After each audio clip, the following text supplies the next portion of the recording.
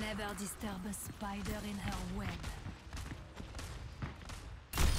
It was a pleasure. Je suis faite pour ça.